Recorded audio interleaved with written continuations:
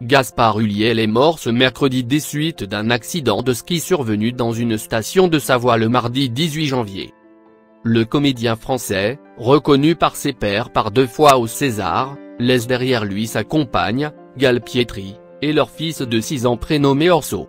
La veille, Gaspard Huliel avait été impliqué dans un accident de ski au sein de la station de la Rosière située en Savoie. D'après les premiers éléments dévoilés sur l'enquête, l'acteur a percuté un autre skieur à un croisement entre deux pistes bleues et a subi un traumatisme crânien.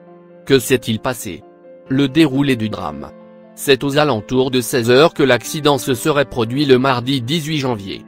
Gaspard Huliel serait entré en collision avec un autre skieur au croisement entre deux pistes bleues du domaine skiable.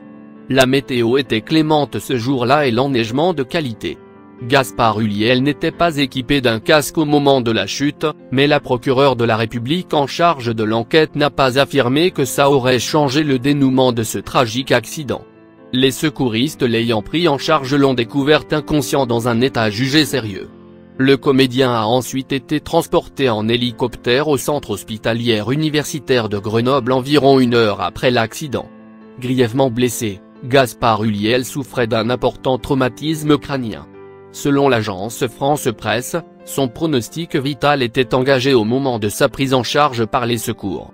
Ce même hôpital de Grenoble avait déjà admis fin 2013 la vedette allemande de la Formule 1 Michael Schumacher, hospitalisé pendant six mois après une chute contre un rocher survenu alors qu'il skiait hors piste avec son fils à dans la même région. Il a finalement quitté l'hôpital en juin 2014 dans un état végétatif pour être installé dans un lit médicalisé de la villa suisse de sa famille à Gland. Il ressort des premiers témoignages et des constatations réalisées sur place que les deux skieurs ont tous les deux chuté au sol. À l'arrivée des secours, Monsieur Huliel était immobile, inconscient dans la neige, et l'autre skieur était indemne. Aucune responsabilité engagée dans la mort de Gaspard Huliel. Dans une interview, la procureure de la République d'Alberteville, Anne Gache, a donné de nouveaux éléments sur les circonstances du drame. Les deux skieurs avançaient côte à côte et se seraient percutés. On ne sait pas encore si le choc ou la chute a entraîné la mort de l'acteur. Au vu des premiers éléments, il n'a pas été relevé de vitesse excessive, de comportement inadapté ou de faute de l'un des deux skieurs.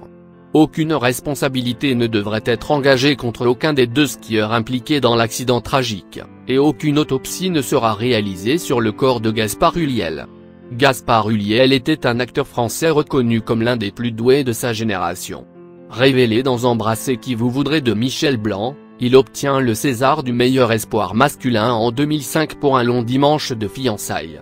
Il multiplie par la suite les rôles, apparaissant sous les traits du duc de Guise dans La princesse de Montpensier 2010, ou de Yves Saint-Laurent 2014. Il obtient son second César en 2017, celui du meilleur acteur cette fois, pour sa partition dans Juste la fin du monde. L'acteur de 37 ans sera à l'affiche de la série Marvel Moon Knight dès le 30 mars 2022. Les hommages se multiplient sur les réseaux sociaux.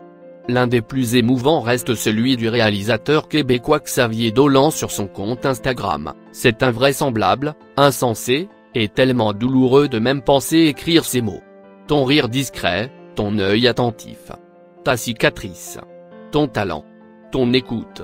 Tes murmures, ta gentillesse tous les traits de ta personne étaient en fait issus d'une douceur étincelante.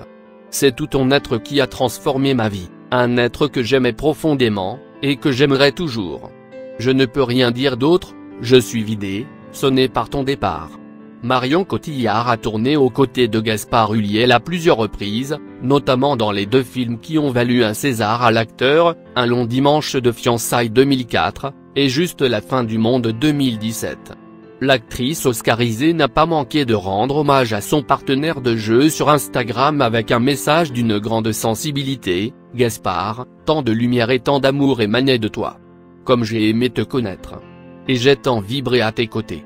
Tu étais et tu resteras, parce que tu nous laisses qui est si immense et si profond, une merveille d'homme. C'est une douleur si grande que de te savoir parti. Je pense à tous ceux que tu aimais et qui t'aimeront toujours. Voyage en paix. Gaspard Huliel a grandi avec le cinéma et le cinéma a grandi avec lui. Ils s'aimaient éperdument. C'est le cœur serré que nous reverrons désormais ses plus belles interprétations et croiserons ce certain regard. Nous perdons un acteur français, a immédiatement réagi le Premier ministre, Jean Castex, sur Twitter. Dans la soirée, mercredi, le président de la République, Emmanuel Macron, a également partagé sa grande tristesse en apprenant le décès de l'acteur.